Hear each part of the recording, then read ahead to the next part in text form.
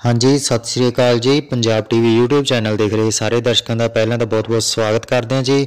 ਗੱਲ ਕਰਾਂਗੇ ਤਾਜ਼ਾ ਤਰੀਨ ਖਬਰਾਂ ਬਾਰੇ। ਪੰਜਾਬ ਦੇ ਹਰ ਜ਼ਿਲ੍ਹੇ ਦੀ ਤਾਜ਼ਾ ਤਰੀਨ ਖਬਰ ਤੁਹਾਡੇ ਸਾਹਮਣੇ ਪੇਸ਼ ਕਰਾਂਗੇ।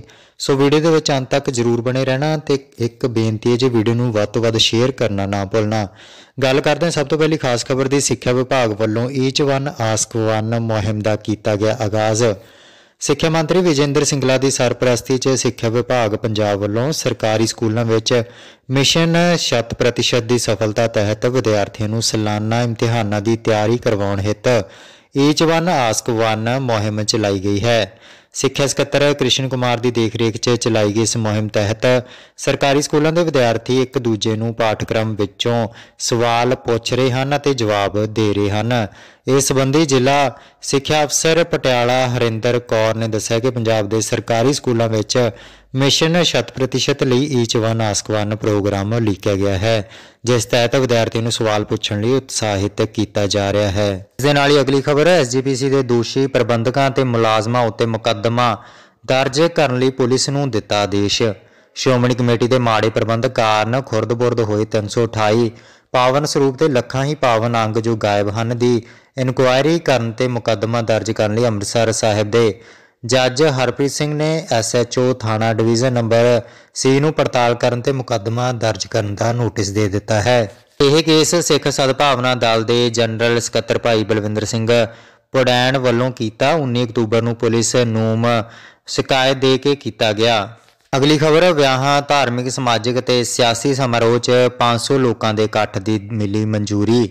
ਵਿਆਹਾਂ, ਸਮਾਜਿਕ ਵਿਦਿਅਕ, ਖੇਡ, ਮਨੋਰੰਜਨ, ਸੱਭਿਆਚਾਰਕ, ਧਾਰਮਿਕ, ਸਿਆਸੀ ਸਮਾਰੋਹਾਂ ਵਿੱਚ ਹੁਣ ਖੁੱਲੀਆਂ ਥਾਵਾਂ ਉੱਤੇ 500 ਲੋਕ ਹਿੱਸਾ ਲੈ ਸਕਣਗੇ। ਜਦਕਿ ਹਾਲ ਵਿੱਚ ਸਮਰੱਥਾ ਤੋਂ ਅੱਧੇ ਲੋਕ ਬੈਠ ਸਕਣਗੇ। ਹਰਿਆਣਾ ਰਾਜ ਆਫਤ ਪ੍ਰਬੰਧ ਅਥਾਰਟੀ ਨੇ ਇਸ ਬਾਰੇ ਸੋਧਿਆ ਹੁਕਮ ਜਾਰੀ ਕੀਤਾ ਹੈ। ਕਰੋਨਾ ਕਾਲ ਵਿੱਚ ਹੁਣ ਤੱਕ ਹਾਲ ਵਿੱਚ 100 ਤੇ ਖੁੱਲੇ ਵਿੱਚ 200 ਲੋਕਾਂ ਦੇ ਕਿਸੇ ਵੀ ਪ੍ਰੋਗਰਾਮ 'ਚ ਭਾਗ ਲੈਣ ਦੀ ਇਜਾਜ਼ਤ ਸੀ। ਹਰਿਆਣਾ ਸਰਕਾਰ ਨੇ ਕਰੋਨਾ ਵਾਇਰਸ ਦਾ ਫੈਲਣ ਰੋਕਣ ਤੋਂ ਬਚਾਉਣ ਲਈ ਹਰਿਆਣਾ ਮਹਾਮਾਰੀ ਰੋਗ ਕੋਵਿਡ-19 ਨਿਯਮ 2020 ਤਿਆਰ ਕੀਤਾ ਹੈ। ਅਗਲੀ ਖਬਰ, ਸਰਕਾਰ ਨੇ ਕਿਸਾਨਾਂ ਨੂੰ ਫੇਰ ਲਿਖੀ ਚਿੱਠੀ, ਕਿਹਾ ਗੱਲਬਾਤ ਲਈ ਖੁੱਲੇ ਹਨ ਰਸਤੇ। ਖੇਤੀ ਕਾਨੂੰਨਾਂ ਵਿਰੁੱਧ ਕਿਸਾਨਾਂ ਦੇ ਅੰਦੋਲਨ ਦਾ ਵੀਰਵਾਰ ਨੂੰ 29ਵਾਂ ਦਿਨ ਹੈ। ਇਸ ਵਿੱਚ ਸਰਕਾਰ ਵੱਲੋਂ ਕਿਸਾਨਾਂ ਨੂੰ ਇੱਕ ਹੋਰ ਚਿੱਠੀ ਲਿਖੀ ਗਈ ਹੈ। ਖੇਤੀਬਾੜੀ ਮੰਤਰਾਲੇ ਵੱਲੋਂ ਲਿਖੀ ਗਈ ਚਿੱਠੀ 'ਚ ਕਿਹਾ ਗਿਆ ਹੈ ਕਿ ਸਰਕਾਰ ਕਿਸਾਨਾਂ ਦੀ ਹਰ ਮੰਗ ਉੱਤੇ ਚਰਚਾ ਕਰਨ ਲਈ ਤਿਆਰ ਹੈ। ਸਰਕਾਰ ਨੇ ਸਾਫ਼ ਤੌਰ ਤੇ ਕਿਹਾ ਹੈ ਕਿ ਹਾਲੇ ਵੀ ਗੱਲਬਾਤ ਦੇ ਰਸਤੇ ਖੁੱਲੇ ਹਨ। ਚਿੱਠੀ 'ਚ ਲਿਖਿਆ ਗਿਆ ਹੈ ਕਿ ਦੇਸ਼ ਦੀਆਂ ਸਾਰੀਆਂ ਕਿਸਾਨ ਜਥੇਬੰਦੀਆਂ ਨਾਲ ਗੱਲਬਾਤ ਦਾ ਰਸਤਾ ਖੁੱਲਾ ਰੱਖਣਾ ਜ਼ਰੂਰੀ ਹੈ। ਦੇਸ਼ ਦੀਆਂ ਕਈ ਸਥਾਪਤ ਕਿਸਾਨ ਜਥੇਬੰਦੀਆਂ ਅਤੇ ਕਿਸਾਨਾਂ ਦੀ ਆਦਰਪੂਰਵਕ ਗੱਲ ਸੁਣਨਾ ਸਰਕਾਰ ਦੀ ਜ਼ਿੰਮੇਵਾਰੀ ਹੈ। ਸਰਕਾਰ ਇਸ ਤੋਂ ਇਨਕਾਰ ਨਹੀਂ ਕਰ ਸਕਦੀ। ਸੰਯੁਕਤ ਕਿਸਾਨ ਮੋਰਚਾ ਦੇ ਅਧੀਨ ਅੰਦੋਲਨਕਾਰੀ ਸਾਰੀਆਂ ਕਿਸਾਨ ਜਥੇਬੰਦੀਆਂ ਨਾਲ ਸਰਕਾਰ ਵੱਲੋਂ ਬਹੁਤ ਹੀ ਸਨਮਾਨਜਨਕ ਤਰੀਕੇ ਨਾਲ ਅਤੇ ਖੁੱਲੇ ਮਨ ਨਾਲ ਕਈ ਦੌਰ ਦੀ ਗੱਲਬਾਤ ਕੀਤੀ ਗਈ ਹੈ ਅਤੇ ਅੱਗੇ ਵੀ ਤੁਹਾਡੀ ਸਹੂਲਤ ਅਨੁਸਾਰ ਗੱਲਬਾਤ ਕਰਨ ਦੀ ਪੇਸ਼ਕਸ਼ ਕੀਤੀ ਹੈ। ਅਗਲੀ ਖਬਰ, ਚੰਡੀਗੜ੍ਹ 'ਚ ਕ੍ਰਿਸਮਸ ਤੋਂ ਬਾਅਦ ਫਿਰ ਲੱਗੇਗਾ ਨਾਈਟ ਕਰਫਿਊ। ਸ਼ਹਿਰ 'ਚ ਵਧ ਰਹੇ ਕਰੋਨਾ ਮਰੀਜ਼ਾਂ ਦੀ ਗਿਣਤੀ ਨੂੰ ਦੇਖਦਿਆਂ ਇੱਕ ਵਾਰ ਫਿਰ ਸ਼ਹਿਰ 'ਚ ਨਾਈਟ ਕਰਫਿਊ ਲੱਗ ਸਕਦਾ ਹੈ। ਬੁੱਧਵਾਰ ਨੂੰ ਪ੍ਰਸ਼ਾਸਕ ਵੀਪੀ ਸਿੰਘ ਬਦਨੌਰ ਦੀ ਪ੍ਰਧਾਨਗੀ 'ਚ ਹੋਈ। ਬਾਰ ਰੂਮ ਮੀਟਿੰਗ ਦੌਰਾਨ ਨਾਈਟ ਕਰਫਿਊ ਦੇ ਮਾਮਲੇ 'ਚ ਕਾਫੀ ਦੇਰ ਤੱਕ ਚਰਚਾ ਹੋਈ। ਦਰਅਸਲ ਕਈ ਸੂਬੇ ਨਾਈਟ ਕਰਫਿਊ ਲਗਾ ਚੁੱਕੇ ਹਨ ਅਜਿਹੇ 'ਚ ਚੰਡੀਗੜ੍ਹ ਪ੍ਰਸ਼ਾਸਨ ਵੀ ਕਿਸੇ ਤਰ੍ਹਾਂ ਦਾ ਖਤਰਾ ਮੁੱਲ ਲੈਣ ਦੇ ਮੂਡ 'ਚ ਨਹੀਂ ਹੈ। ਕ੍ਰਿਸਮਸ ਤੋਂ ਬਾਅਦ ਨਾਈਟ ਕਰਫਿਊ ਲਗਾਉਣ ਦੀ ਤਿਆਰੀ ਚੱਲ ਰਹੀ ਹੈ। ਮੀਟਿੰਗ 'ਚ ਫੈਸਲਾ ਲਿਆ ਗਿਆ ਹੈ ਕਿ ਆਉਣ ਵਾਲੇ ਦਿਨਾਂ 'ਚ ਵਾਇਰਸ ਦੇ ਇਨਫੈਕਸ਼ਨ ਨੂੰ ਦੇਖਦਿਆਂ ਇਸ ਉੱਤੇ ਕਿਸੇ ਆਖਰੀ ਫੈਸਲੇ ਉੱਤੇ ਪਹੁੰਚਿਆ ਜਾ ਸਕੇਗਾ। ਉਥੇ ਵਿਦੇਸ਼ਾਂ ਤੋਂ ਆਉਣ ਵਾਲੇ ਸੈਲਾਨੀਆਂ ਦੇ ਕੋਵਿਡ-19 ਪੋਜ਼ਿਟਿਵ ਪਾਏ ਜਾਣ ਤੋਂ ਬਾਅਦ ਹੁਣ ਸ਼ਹਿਰ 'ਚ ਕੁਝ ਸਖਤ ਕਦਮ ਚੁੱਕੇ ਜਾ ਸਕਦੇ ਹਨ। ਅਗਲੀ ਖਬਰ, ਕਿਸਾਨ ਅੰਦੋਲਨ ਬਾਰੇ ਟਿੱਪਣੀ ਕਰਨ ਉੱਤੇ ਹਰਨੇਕ ਨੇਕੀ ਉੱਤੇ ਹਮਲੇ, ਹਾਲਤ ਗੰਭੀਰ ਸਿੱਖ ਮਸਲਿਆਂ ਬਾਰੇ ਵਿਵਾਦਤ ਬਿਆਨਬਾਜ਼ੀ ਕਰਨ ਵਾਲੇ ਹਰਨੇਕ ਸਿੰਘ ਨੇਕੀ ਉੱਤੇ ਨਿਊਜ਼ੀਲੈਂਡ ਵਿੱਚ ਹਮਲਾ ਹੋਇਆ, ਉਹ ਗੰਭੀਰ ਜ਼ਖਮੀ ਹੈ। ਮੰਨਿਆ ਜਾ ਰਿਹਾ ਹੈ ਕਿ ਕਿਸਾਨ ਅੰਦੋਲਨ ਬਾਰੇ ਗਲਤ ਸ਼ਬਦਾਵਲੀ ਵਰਤਨ ਕਰਕੇ ਇਹ ਹਮਲਾ ਹੋਇਆ ਹੈ। ਰਿਪੋਰਟ ਮੁਤਾਬਕ ਨੇਕੀ ਉੱਪਰ ਆਕਲੈਂਡ ਦੇ ਮੈਨੂੰ ਰੇਵਾ 'ਚ ਹਮਲਾ ਹੋਇਆ। ਨੇਕੀ ਨੂੰ ਗੰਭੀਰ ਹਾਲਤ 'ਚ ਹਸਪਤਾਲ ਦਾਖਲ ਕਰਵਾਇਆ ਗਿਆ। ਸੂਤਰਾਂ ਮੁਤਾਬਕ ਨੇਕੀ ਨੂੰ ਗੰਭੀਰ ਸੱਟਾਂ ਲੱਗੀਆਂ ਹਨ। ਉਸ ਦੀਆਂ ਹੱਡੀਆਂ ਵੀ ਟੁੱਟੀਆਂ ਹਨ। ਹਸਪਤਾਲ 'ਚ ਸਰਜਰੀਆਂ ਕੀਤੀਆਂ ਗਈਆਂ ਹਨ। ਪੁਲਿਸ ਨੇ ਕਈ ਵਿਅਕਤੀਆਂ ਤੋਂ ਪੁੱਛਗਿੱਛ ਆਰੰਭੀ ਹੈ। ਸੂਤਰਾਂ ਮੁਤਾਬਕ ਨੇਕੀ ਆਪਣੇ ਰੇਡੀਓ ਪ੍ਰੋਗਰਾਮ ਰਾਹੀਂ ਅਕਸਰ ਸਿੱਖ ਮਸਲਿਆਂ ਬਾਰੇ ਵਿਵਾਦਤ ਬਿਆਨਬਾਜ਼ੀ ਕਰਦਾ ਸੀ। ਪਿਛਲੇ ਦਿਨਾਂ ਵਿੱਚ ਇਹ ਕਿਸਾਨ ਅੰਦੋਲਨ ਬਾਰੇ ਵੀ ਕੁਝ ਟਿੱਪਣੀਆਂ ਕਰ ਰਿਹਾ ਸੀ। ਇਸ ਕਰਕੇ ਉਸ ਨੂੰ ਧਮਕੀਆਂ ਮਿਲ ਰਹੀਆਂ ਸਨ। ਅਗਲੀ ਖਬਰ, ਮਹਾਰਾਣੀ ਪ੍ਰਨੀਤ ਕੌਰ ਨੂੰ ਪੁਲਿਸ ਨੇ ਲਿਆ ਹਿਰਾਸਤ 'ਚ ਫੇਸਬੁੱਕ ਪੋਸਟ ਰਾਹੀਂ ਦਿੱਤੀ ਸੀ ਜਾਣਕਾਰੀ।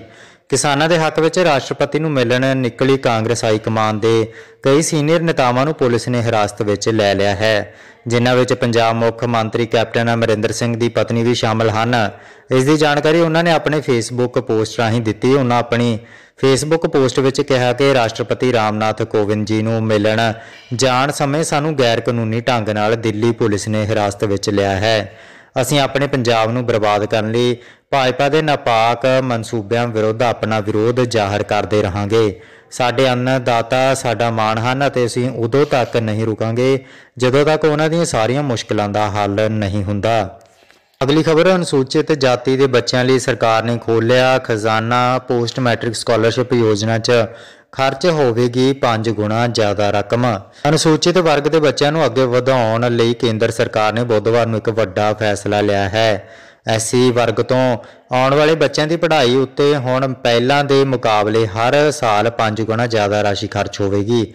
ਨਾਲ ਹੀ ਇਸ ਨੂੰ ਲੈ ਕੇ ਸੰਚਾਲਿਤ ਯੋਜਨਾ ਉੱਤੇ ਅਗਲੇ 5 ਸਾਲਾਂ 'ਚ 59000 ਕਰੋੜ ਤੋਂ ਜ਼ਿਆਦਾ ਰਾਸ਼ੀ ਖਰਚ ਕੀਤੀ ਜਾਵੇਗੀ। ਇਸ 'ਚ ਕੇਂਦਰ ਦੀ ਹਿੱਸੇਦਾਰੀ 35 ਕਰੋੜ ਤੋਂ ਜ਼ਿਆਦਾ ਦੀ ਹੋਵੇਗੀ। ਇਸ ਪੂਰੀ ਯੋਜਨਾ ਰਾਹੀਂ ਅਗਲੇ 4 ਸਾਲਾਂ 'ਚ 4 ਕਰੋੜ ਅਨੁਸੂਚਿਤ ਵਰਗ ਦੇ ਵਿਦਿਆਰਥੀਆਂ ਨੂੰ ਲਾਭ ਦਿੱਤਾ ਜਾਵੇਗਾ। ਇਹਨਾਂ 'ਚ ਲਗਭਗ 1.36 ਕਰੋੜ ਵਿਦਿਆਰਥੀ ਸਭ ਤੋਂ ਗਰੀਬ ਤਬਕੇ ਤੋਂ ਹੋਣਗੇ। ਅਗਲੀ ਖਬਰ, ਗੁਰਦਾਸਪੁਰ ਤੋਂ ਅਦਾਲਤ 'ਚ ਤਰੀਕਾਂ ਪੈਣ ਉੱਤੇ ਔਰਤ ਹੋਈ ਪਰੇਸ਼ਾਨ। ਕੋਰਟ ਕੰਪਲੈਕਸ 'ਚ ਲਗਾ ਲਈ ਖੁਦ ਨੂੰ ਅੱਗ। ਪੰਜਾਬ ਦੇ ਗੁਰਦਾਸਪੁਰ ਜ਼ਿਲ੍ਹੇ ਵਿੱਚ ਇੱਕ ਔਰਤ ਨੇ ਅਦਾਲਤ ਦੇ ਕੰਪਲੈਕਸ ਵਿੱਚ ਖੁਦਕੁਸ਼ੀ ਕਰਨ ਦੀ ਕੋਸ਼ਿਸ਼ ਕੀਤੀ। ਔਰਤ ਨੇ ਆਪਣੇ ਆਪ ਨੂੰ ਅੱਗ ਲਗਾ ਲਈ, ਉਸ ਨੂੰ ਗੰਭੀਰ ਹਾਲਤ 'ਚ ਸਿਵਲ ਹਸਪਤਾਲ ਦਾਖਲ ਕਰਵਾਇਆ ਗਿਆ ਹੈ। ਦੱਸਿਆ ਜਾ ਰਿਹਾ ਹੈ ਕਿ ਔਰਤ ਅਦਾਲਤ ਦੇ ਕੇਸ ਵਿੱਚ ਵਾਰ-ਵਾਰ ਤਰੀਕ ਲੱਗਣ ਨੂੰ ਲੈ ਕੇ ਪਰੇਸ਼ਾਨ ਸੀ। ਪ੍ਰਾਪਤ ਹੋਈ ਜਾਣਕਾਰੀ ਅਨੁਸਾਰ ਮੋਨਾਲਿਸਾ ਪੁੱਤਰੀ ਚੰਨਣ ਮਸੀਹ ਨਿਵਾਸੀ ਪਿੰਡ ਖੁੱਡਾ ਨੇ ਦੱਸਿਆ ਕਿ ਉਸ ਦੇ ਮਾਪਿਆਂ ਦੀ ਮੌਤ ਹੋ ਗਈ ਹੈ। ਉਹ ਆਪਣੇ ਮਾਪਿਆਂ ਦੇ ਘਰ ਰਹਿ ਰਹੀ ਹੈ। ਉਸਨੇ ਵਿਆਹ ਵੀ ਨਹੀਂ ਕਰਵਾਇਆ ਸੀ ਉਸ ਦੀ ਚਾਚੀ ਨੇ ਉਸ ਦੇ ਮਾਪਿਆਂ ਦੀ ਜ਼ਮੀਨ ਵੇਚ ਦਿੱਤੀ, ਇਹ ਕੇਸ 10 ਸਾਲਾਂ ਤੋਂ ਅਦਾਲਤ ਵਿੱਚ ਹੈ। ਮੋਨਾਲਿਸਾ ਨੇ ਅੱਗੇ ਦੱਸਿਆ ਕਿ ਹੁਣ ਉਸ ਦੀ ਚਾਚੀ ਉਸ ਦੇ ਘਰ ਨੂੰ ਵੀ ਹਥਿਆਉਣਾ ਚਾਹੁੰਦੀ ਹੈ, ਇਸ ਸੰਬੰਧੀ ਉਸ ਦਾ ਅਦਾਲਤ ਵਿੱਚ ਕੇਸ ਚੱਲ ਰਿਹਾ ਹੈ, ਪਰ ਇੰਨੇ ਸਾਲਾਂ ਵਿੱਚ ਅਦਾਲਤ ਵਿੱਚ ਤਰੀਕਾਂ ਹੀ ਪੈ ਰਹੀਆਂ ਹਨ ਅਤੇ ਉਹ ਅਦਾਲਤ ਦੇ ਚੱਕਰ ਕੱਟ-ਕੱਟ ਕੇ ਥੱਕ ਗਈ ਹੈ। ਇਸ ਲਈ ਉਸਨੇ ਆਪਣੇ ਉੱਤੇ ਪੈਟਰੋਲ ਦਾ ਛਿੜਕ ਕੇ ਆਪਣੇ ਆਪ ਨੂੰ ਅੱਗ ਲਗਾ ਲਈ, ਕਿਉਂਕਿ ਉਹ ਜਿਉਣਾ ਨਹੀਂ ਚਾਹੁੰਦੀ। ਅਗਲੀ ਖਬਰ, ਬਠਿੰਡਾ ਤੋਂ। ਬਠਿੰਡਾ 'ਚ ਸੜਕ ਉੱਤੇ ਡੁੱਲਿਆ ਡੀਜ਼ਲ ਹਾਦਸੇ ਦਾ ਸ਼ਿਕਾਰ ਹੋਏ ਕਈ ਵਾਹਨ। ਬਠਿੰਡਾ 'ਚ ਸੜਕ ਉੱਤੇ ਡੀਜ਼ਲ ਡਿੱਗਣ ਕਾਰਨ ਭਿਆਨਕ ਹਾਦਸਾ ਵਾਪਰਨ ਦੀ ਖਬਰ ਸਾਹਮਣੇ ਆਈ ਹੈ। ਮਿਲੀ ਜਾਣਕਾਰੀ ਮੁਤਾਬਕ ਬੀਬੀਵਾਲਾ ਰੋਡ ਉੱਤੇ ਕਪਿਲਾ ਹਸਪਤਾਲ ਨੇੜੇ ਮੋਬਿਲ ਆਇਲ ਨਾਲ ਭਰਿਆ ਡਰਮ ਡਿੱਗਣ ਦੇ ਕਾਰਨ ਗੰਭੀਰ ਸਥਿਤੀ ਬਣ ਗਈ। ਇਸ ਦੌਰਾਨ ਇੱਕ ਨਹੀਂ, ਸਗੋਂ ਤਿੰਨ ਮੋਟਰਸਾਈਕਲ ਸਵਾਰ ਵਿਅਕਤੀ ਫਿਸਲਣ ਦੇ ਕਾਰਨ ਸੜਕ ਉੱਤੇ ਡਿੱਗ ਪਏ। ਸਾਰੀ ਘਟਨਾ ਸੀਸੀਟੀਵੀ ਕੈਮਰੇ 'ਚ ਕੈਦ ਹੋ ਗਈ। ਇਸ ਦੀ ਸੂਚਨਾ ਮਿਲਣ ਤੇ ਤੁਰੰਤ ਟ੍ਰੈਫਿਕ ਮੁਲਾਜ਼ਮ ਮੌਕੇ ਤੇ ਪਹੁੰਚੇ ਤੇ ਆਵਾਜਾਈ ਵਿਵਸਥਾ ਨੂੰ ਸੁਚਾਰੂ ਬਣਾਇਆ। ਅਗਲੀ ਖਬਰ, ਕਿਸਾਨ ਅੰਦੋਲਨ ਬਾਰੇ ਫੇਰ ਦਿੱਤਾ ਖੱਟਰ ਨੇ ਵਿਵਾਦਿਤ ਬਿਆਨ, ਕਿਹਾ ਇਹ ਤਮਾਸ਼ਾ ਨਹੀਂ ਚੱਲੇਗਾ। ਹਰਿਆਣਾ ਦੇ ਮੁੱਖ ਮੰਤਰੀ ਮਨੋਹਰ ਲਾਲ ਖੱਟਰ ਨੇ ਖੇਤੀ ਅੰਦੋਲਨ ਬਾਰੇ ਵਿਵਾਦਪੂਰਨ ਬਿਆਨ ਦਿੱਤਾ ਹੈ। ਹਰਿਆਣਾ ਦੇ ਪੰਚਕੁਲਾ ਵਿੱਚ ਨਗਰ ਨਿਗਮ ਚੋਣ ਮੁਹਿੰਮ ਦੌਰਾਨ ਇੱਕ ਜਨ ਸਭਾ ਨੂੰ ਸੰਬੋਧਨ ਕਰਦਿਆਂ ਕਿਹਾ ਕਿ ਅੱਜ ਕੱਲ ਅਸੀਂ ਤਮਾਸ਼ਾ ਵੇਖ ਰਹੇ ਹਾਂ। ਕਾਨੂੰਨ ਨੂੰ ਰੱਦ ਕਰਨ ਲਈ ਦਬਾਅ ਬਣਾਏ ਜਾ ਰਹੇ ਹਨ। ਖੇਤੀ ਕਾਨੂੰਨਾਂ ਨੂੰ ਰੱਦ ਕਰਨ ਲਈ ਚੱਲ ਰਹੇ ਕਿਸਾਨ ਅੰਦੋਲਨ ਉੱਤੇ ਮੁੱਖ ਮੰਤਰੀ ਮਨੋਹਰ ਲਾਲ ਖੱਟਰ ਨੇ ਕਿਹਾ ਕਿ ਇਹ ਲੋਕਤੰਤਰ ਹੈ। ਖੱਟਰ ਨੇ ਕਿਹਾ ਕਿ ਸ਼ੇਖੀ ਮਾਰ ਨਹੀਂ ਚੱਲੇਗੀ ਅਤੇ ਉਹਨਾਂ ਦਾ ਸਮਰਥਨ ਕਰੋਗੇ ਜੋ ਇਹ ਕਰਦੇ ਹਨ, ਇਹ ਵੀ ਨਹੀਂ ਚੱਲੇਗਾ। ਮੁੱਖ ਮੰਤਰੀ ਖੱਟਰ ਨੇ ਕਿਹਾ ਕਿ ਸਭ ਦਾ ਅਧਿਕਾਰ ਹੈ ਕਿ ਉਹ ਆਪਣੀ ਗੱਲ ਸੱਭਿਅਕ ਢੰਗ ਨਾਲ ਰੱਖਣ ਅਤੇ ਲੋਕਤੰਤਰ ਵਿੱਚ ਇਸ ਦੀ ਆਜ਼ਾਦੀ ਵੀ ਦਿੱਤੀ ਗਈ ਹੈ। ਅਗਲੀ ਖਬਰ, ਔਰਤਾਂ ਨੂੰ ਸਫ਼ਰ 'ਚ ਮਿਲੇਗੀ 50% ਦੀ ਛੋਟ ਕੈਪਟਨ। ਔਰਤਾਂ ਨੂੰ ਬੱਸਾਂ ਵਿੱਚ ਸਫ਼ਰ ਕਰਨ ਉਤੇ 50% ਦੀ ਕਿਰਾਏ ਵਿੱਚ ਛੋਟ ਮਿਲੇਗੀ। ਕਰੋਨਾ ਸੰਕਟ ਕਾਰਨ ਸਰਕਾਰ ਇਸ ਮਾਮਲੇ ਵਿੱਚ ਪਿਛੜ ਗਈ ਹੈ ਤੇ ਜਲਦੀ ਇਹ ਸਹੂਲਤ ਸੂਬੇ ਦੀਆਂ ਔਰਤਾਂ ਨੂੰ ਮਿਲੇਗੀ। ਬੁੱਧਵਾਰ ਨੂੰ ਇਹ ਜਾਣਕਾਰੀ ਮੁੱਖ ਮੰਤਰੀ ਕੈਪਟਨ ਅਮਰਿੰਦਰ ਸਿੰਘ ਨੇ ਕੈਪਟਨ ਨੂੰ ਸਵਾਲ ਪ੍ਰੋਗਰਾਮ ਦੌਰਾਨ ਬਠਿੰਡਾ ਵਾਸੀ ਇੱਕ ਵਿਅਕਤੀ ਵੱਲੋਂ ਕੀਤੇ ਗਏ ਸਵਾਲ ਦੇ ਜਵਾਬ ਵਿੱਚ ਦਿੱਤੀ। ਇਸ ਦੌਰਾਨ ਉਹਨਾਂ ਦੱਸਿਆ ਕਿ ਹਸਪਤਾਲਾਂ ਵਿੱਚ ਓਪੀਡੀ ਸ਼ੁਰੂ ਕਰਨ ਦੇ ਹੁਕਮ ਦਿੱਤੇ ਗਏ ਹਨ।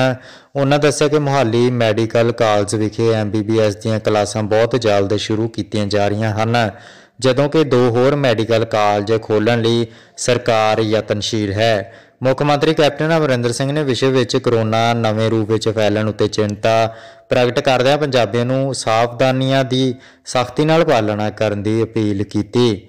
ਉਹਨਾਂ ਕਿਹਾ ਕਿ ਕਰੋਨਾ ਤੋਂ ਜਿਹੜੇ ਲੋਕ ਉੱਭਰ ਚੁੱਕੇ ਹਨ, ਉਹਨਾਂ ਨੂੰ ਬਾਅਦ ਵਿੱਚ ਕਮਜ਼ੋਰੀ ਵਿੱਚੋਂ ਗੁਜ਼ਰਨਾ ਪੈ ਰਿਹਾ ਹੈ। ਮੁੱਖ ਮੰਤਰੀ ਨੇ ਲੰਡਨ ਤੋਂ ਅੰਮ੍ਰਿਤਸਰ ਆਉਣ ਵਾਲੇ 8 ਲੋਕਾਂ ਦੇ ਕਰੋਨਾ ਪੋਜ਼ਿਟਿਵ ਆਉਣ ਉੱਤੇ ਕਿਹਾ ਕਿ ਕਰੋਨਾ ਵਾਇਰਸ ਦਾ ਨਵਾਂ ਰੂਪ ਪੰਜਾਬ ਵਿੱਚ ਦਾਖਲ ਨਾ ਹੋਵੇ, ਇਸ ਲਈ ਪੁਖਤਾ ਪ੍ਰਬੰਧ ਕੀਤੇ ਜਾ ਰਹੇ ਹਨ। ਰੋਜ਼ਾਨਾ 30000 ਟੈਸਟ ਕੀਤੇ ਜਾਂਦੇ ਹਨ।